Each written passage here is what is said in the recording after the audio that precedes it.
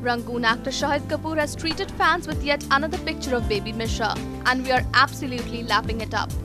After looking at her picture, we can only say that the little munchkin looks insanely cute. Sasha shared first picture of Misha on his social media accounts and instantly Misha became the most discussed topic for the next few days. And now he has shared yet another picture of his little toddler, captioned the image as Moo Moo here and a Moo Moo there. With her eyes gawking at the camera, Misha looked absolutely adorable.